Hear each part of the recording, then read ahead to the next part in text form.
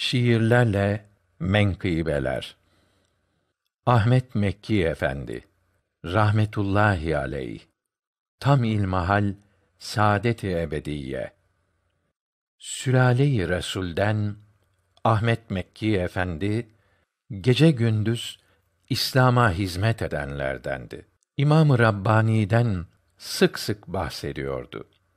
Mektubat kitabını çok okuyun diyordu. Ayrıca tam ilmahal kitabını da yine tavsiye ediyordu sık sık sevdiklerine. Hatta kendi yanında hep bulunduruyordu ve genç Müslümanlara hediye ediyordu. Bir gün akrabasından Faruk Bey geldiğine bir kitap yazdığını arz etti kendisine. O kitabı matbaaya verip bastırmak için istedi kendisinden buna rıza ve izin. Ben dahi merak ettim ne buyuracağını. Aynen hatırlıyorum o günkü cevabını. Buyurdu. Saadet-i ebediye var iken başka kitap yazmaya lüzum yoktur katiyen. Peki efendim dedi Faruk Bey cevabında. Kitabın baskısından vazgeçmişti anında. Tam ilmihal hakkında buyurdu ki bir zaman bu kitabı okuyan talihli bir Müslüman hem din bilgilerini öğrenir daha iyi hem de tanır ve sever İmam-ı Rabbani'yi. Kalbi ona meyleder.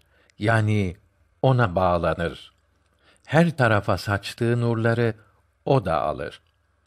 Sonra olgunlaşmaya başlar o bu feyz ile ve kemale gelir de haberi olmaz bile. Ham bir karpuz güneşin karşısında nasıl ki zamanla olgunlaşıp tatlılaştığı gibi o da feyizleriyle İmam-ı Rabbani'nin yetişip olgunlaşır, olur kamil bir mümin. Değişiklik hisseder dünya görüşlerinde. Velileri görmeye başlar hem düşlerinde. İmam-ı Rabbani'yi ve başka evliyayı görür hem rüyasında Resulü Kibriyayı.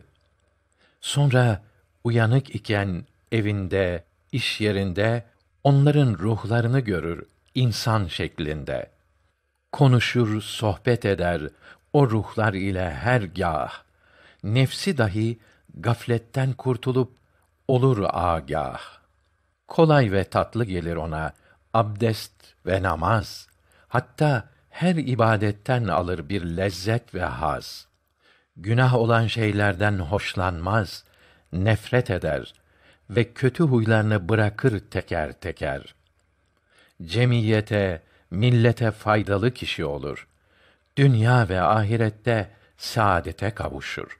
Evliyanın ruhları öldükten sonra dahi talebeye görünüp feyz verir bizatihi. Fakat evliyalardan bu yolla istifade diriyken olandan azdır daha ziyade. Hepsi ehli sünnettir tasavvuf büyükleri. Bid'at sahiplerinden gelmemiştir bir veli.